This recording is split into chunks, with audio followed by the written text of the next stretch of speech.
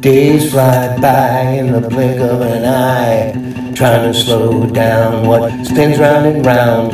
I'm Harold Lloyd on the hands of time, not just hanging in there, but stopping the clock's chime.